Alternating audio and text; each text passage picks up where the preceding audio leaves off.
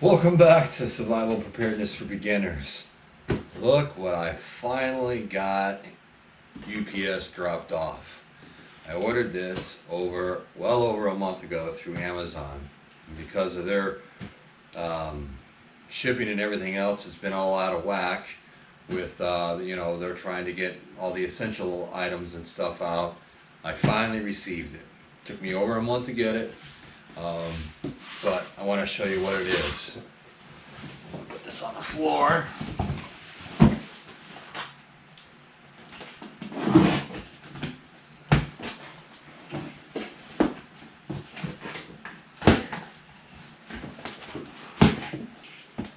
And the thing that kept getting me was, is they just kept changing the delivery date.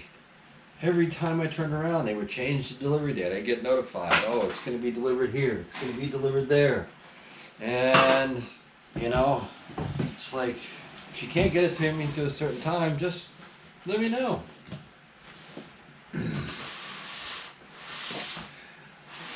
It's a Hamilton Beach food dehydrator. Now we're going to have to open up another box. Oh, let's see here.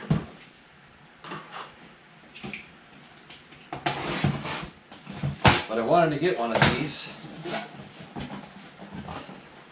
because I want to start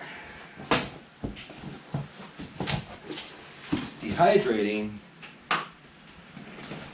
vegetables.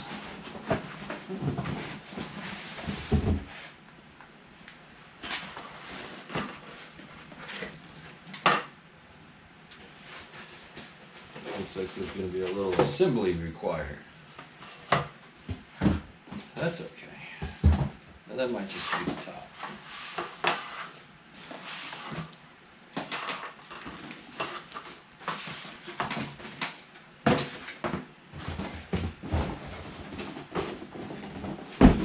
And I did buy a dehydrating book because I've never have dehydrated anything before.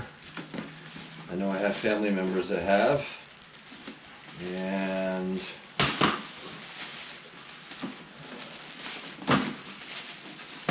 Because I do know with dehydrating, if you dehydrate, from the books that I have bought, if you dehydrate your, um, just like that. Oh, not much to put to it. If you dehydrate your, uh, vegetables and stuff, and if you pack them right, they can last you up to 10 years, and your, um, anything that's sugary, your your fruits and stuff, you know, strawberries and stuff like that, you know, if you pack them right, they can last up to five years. So I wanted to get one of these, and um, and a lot of people talked about um, the stackable ones compared to these, and this is a stackable one. Um, I, I guess you know because you can read all the reviews in the world. I think in a sense you just have to try to pick one and and go with it. So I got this one on Amazon. It had quite a few. Uh, it was a four and a half star.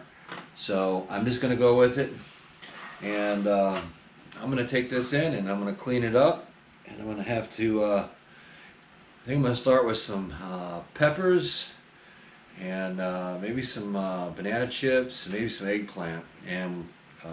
But I'll do a video on all that when I do it. But I just wanted everybody to see I finally received my dehydrator. Thank you for watching. This is Survival Preparedness for Beginners and look for more things to come on this because I'm going to share my progress so everybody else can get a good idea what to do. Talk to you guys soon.